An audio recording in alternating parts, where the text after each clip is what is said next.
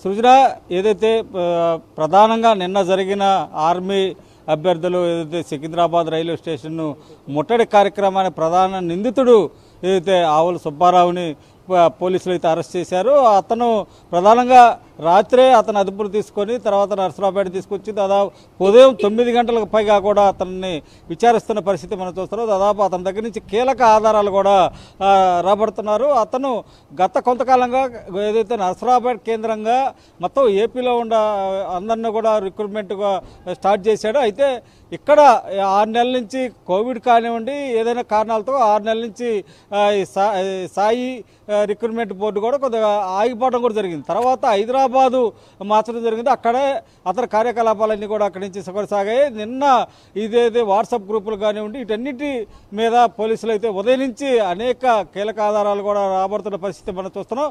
అయితే ఇక్కడ గుంటూరులో కూడా ఈరోజు గుంటూరు రైల్వే స్టేషన్కి కూడా దాదాపు రావాలని పిలుపునిచ్చిన నేపథ్యంలో అందరిని కూడా అదుపులో తీసుకున్నారు. ఇక్కడ అతనితో పాటు గుంటూరు నుంచి కూడా ఒక ఇద్దరిని కూడా తీసుకొని వెళ్ళారు. ప్రధా ఈ గుంటూరు చుట్టుపక్కల ఇటు బాపట్ల జిల్లా కానివ్వండి ఇటు గుంటూరు కానివ్వండి పల్నాడు జిల్లా. లో ఆర్మీ రిక్రూట్మెంట్ సంస్థలు చాలా అధికంగా ఉన్నాయి.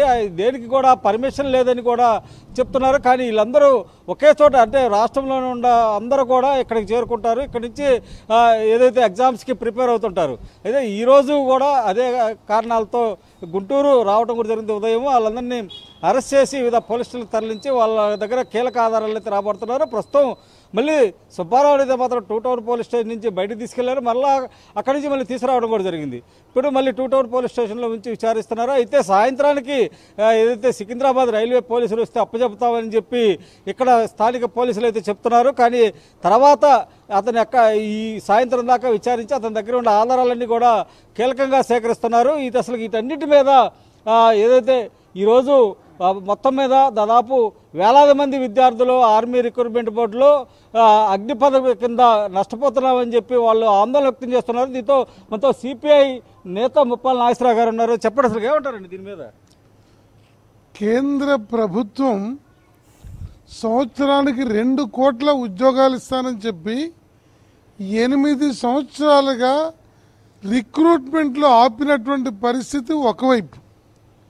ఆర్మీ రిక్రూట్మెంట్ సాధారణంగా ఇంటర్మీడియట్ దానిలోగా చదువుకొని ఉద్యోగ వేటలో ఉండే వాళ్ళకి ఆశగా అందుబాటులో కనపడేది అది ఆర్మీ అయినా ఎయిర్ ఫోర్స్ అయినా నేవీ అయినా.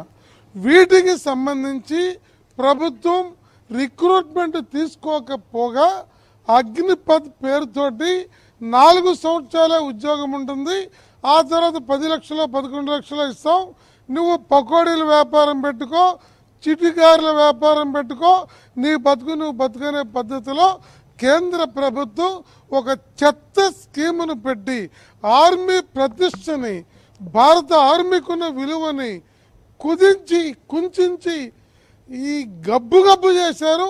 దీనితోటి వేలాది మంది వివిధ రాష్ట్రాల్లో ఉన్నటువంటి ఆర్మీ రిక్రూట్మెంట్ కోసము ఎదురు చూస్తున్నటువంటి వాళ్ళు తీవ్ర నిరాశకు గురై ఆగ్రహావేశాలు పెళ్ళుకి ప్రభుత్వానికి విన్నవించుకోవాలనుకున్నారు.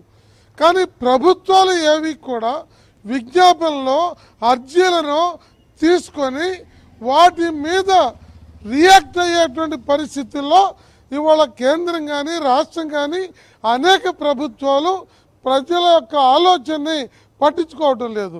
ఈ స్థితిలో వారికి ఒక తీవ్రమైనటువంటి అలజడి. కేంద్ర ప్రభుత్వం యొక్క గుర్తింపుకి ఈ విషయాన్ని తీసుకెళ్ళాలనటానికి ఇది ఒక మార్గంగా ఎంచుకున్నారు.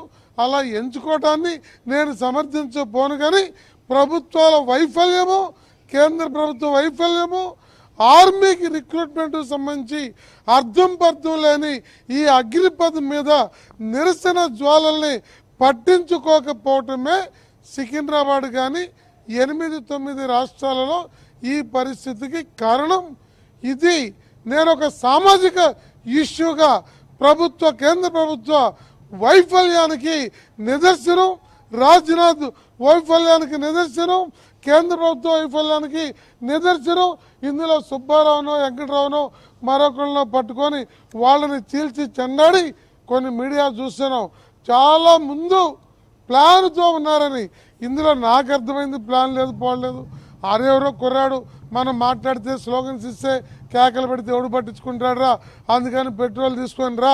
అప్పుడు దేశం అంతా విషయం తెలుస్తుంది అని చెప్పినటువంటి విషయాన్ని ఇవాళ వక్రీకరించేటువంటిది మరొకటి కాకుండా ఆ వాస్తవ విషయాలను చూసి ఇప్పటికైనా కేంద్ర రక్షణ మంత్రి కానీ హోంమంత్రి కానీ ప్రైమ్ మినిస్టర్ కానీ స్పందించి మరలా వాళ్ళే జాతికి క్షమాపణ చెప్పాలి. ఇవాళ ప్రధానమంత్రి ఈ అగ్నిపథ లాంటి పిచ్చ స్కీమ్ పెట్టినటువంటి దానికి వారి తప్పుని కప్పిపుచ్చుకొని ఈ యువకులను బలి తీసుకోవడం కాకుండా యువకులందరినీ ఓదార్చి శాంతింపజేసి పాత పద్ధతిలోనే రిక్రూట్మెంట్ తీసుకుంటామని చెప్పడము దీనికి పరిష్కారము ఇది కేంద్ర ప్రభుత్వ వైఫల్యం తప్ప మరొకటి కాదు. అంటే చాలా మందిని ఈరోజు ఉదయం నుంచి కూడా గుంటూరులో కూడా అదుపులో తీసుకున్నారు. అయితే పోలీసులు అయితే మాత్రం శాంతియుతంగా వెళ్ళాలంటున్నారు. కానీ అసలు వాళ్ళకుండా డిమాండ్ ఏ రకంగా ఉండాలని ఖచ్చితంగా వాళ్ళది ఒకే ఒక డిమాండ్. అగ్నిపథలో అంతకుముందు మినిమం ఫిఫ్టీన్ ఇయర్స్ ఉండేది. ఆ తర్వాత మళ్ళీ వీళ్ళు ఎక్స్టెండ్ చేసుకొని విల్లింగ్ ఇస్తే ఇరవై ఐదు ఇరవై మూడేళ్ళ దాకా ఉండొచ్చు. ఆ తర్వాత పెన్షన్ గ్యారంటీ ఉండేది. ఇప్పుడు అలా కాకుండా పదకొండు లక్షలు ఇచ్చి ఇంటికి పంపిస్తామని చెప్పేది ఉంది. అది తప్పు. పాత పద్ధతులు అనేది కంటిన్యూ అవ్వాలి.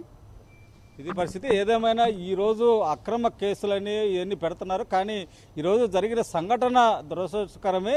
కానీ వాళ్ళకి ఆర్మీ అభ్యర్థులకు మాత్రం న్యాయం చేయాలని చెప్పి ఇటు సిపిఐ నేతలు అయితే కోరుతున్న పరిస్థితి మనకు కనపడుతుంది. ఇది ఇక్కడ ఉన్న పరిస్థితి. Thank you Ravindra court